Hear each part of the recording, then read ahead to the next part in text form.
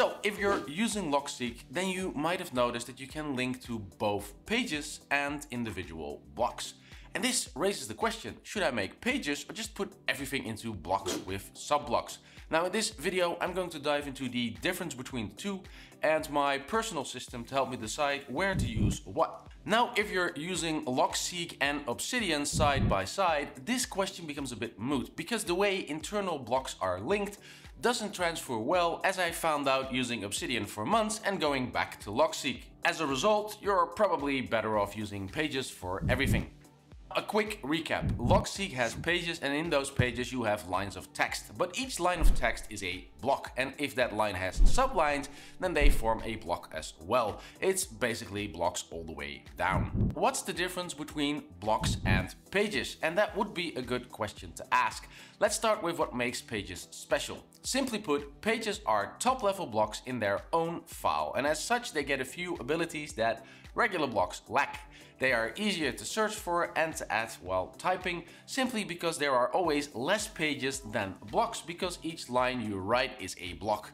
In search that also means that pages usually show up quicker and on top. Next to that you can have multiple top level blocks in a single page, where the first block is used to store any page properties you might need.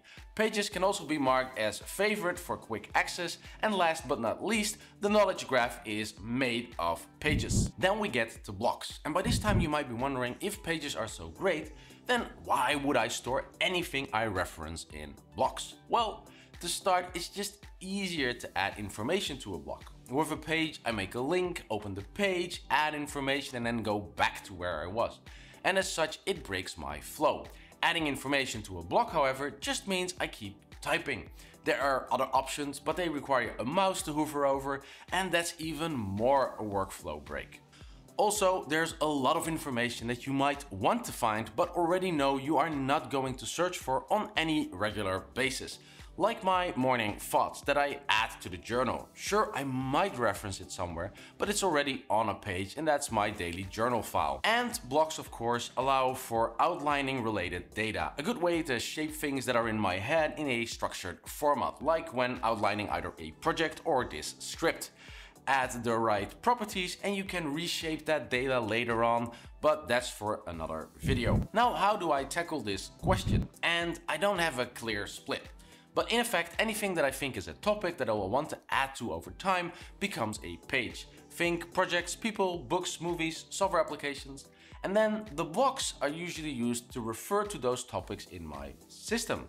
Now, this usually comes to place strongest in my journal, where I constantly add data that's related to topics that I decided on earlier. See a great gift for someone? I create a block with a tag gift and linking it to the page of that person, resulting in me being able to look things up later by going to that person's page and filtering on gift. But also larger blocks come into play, say meeting notes for example. I create a block during the day, mark it with the tag meeting and add important metadata like the relevant project and who's attending all linking to pages. And this isn't limited to meetings either. It can be emails or chat messages that I get and that I also want to add to my journal with the appropriate tags. My end result is that when I open a project page, the reference will usually show me a clear time stream of all activities related to said project. So expand that idea over everything. Good article about video editing, I add it to my journal and link to video editing. Reading a book and seeing a good quote, I add it to my journal and link back to the book. In effect, growing a database of small information that links back to pages. Pages are the foundation of my system and blocks that refer to those pages add value to said page. Pages with no references, I need to stop and think. Should you add information to it? Or might it have been better if you just kept it a block? And if even NASA can decide to demote Pluto, what's stopping you from bringing a page back to a block anyway? While nothing is set in stone, changing things might be harder than you want. When in doubt, I would pick a page because you can always merge a couple of pages to turn them into one big topic.